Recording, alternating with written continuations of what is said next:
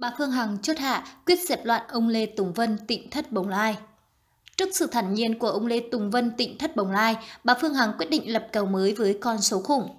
Tạm khác lại ồn ào với sao Việt, bà Phương Hằng đang có cuộc khẩu chiến với ông trùm tịnh thất Bồng Lai. Cả hai vẫn chưa đi đến hồi kết khi liên tục mở kèo và nâng giá.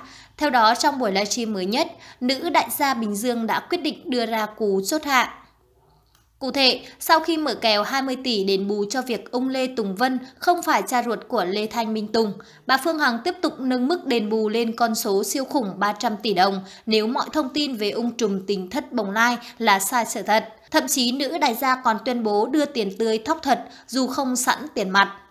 Chưa hết, vì tính chất của vụ việc, bà Phương Hằng còn phá lệ tới tận nơi để chứng kiến ông Vân xét nghiệm ADN. Nữ đại gia thách thức ông Vân hãy đồng ý xét nghiệm, bà sẽ xuống đàng hoàng. Nếu là người trong sạch, tại sao phải từ chối điều đó? Phải chăng có ẩn khúc gì ở đây?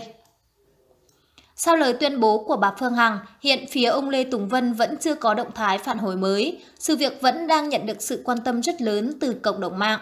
Như đã thông tin trước đó, drama giữa bà Nguyễn Phương Hằng và ông Lê Tùng Vân nổi lên sau khi nữ đại gia trực tiếp nhắc đến tịnh thất Bùng Lai và nhấn mạnh đây là nơi lừa đảo trong livestream.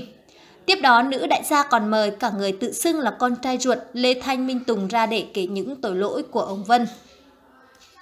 Trước đòn phủ đầu này, ông Lê Tùng Vân khẳng định đó hoàn toàn là thông tin sai sự thật. Ông Vân tuyên bố mình là người đi tu, không có con cháu nên không có bất cứ quan hệ nào với Lê Thanh Minh Tùng ngoài việc đặt hộ tên.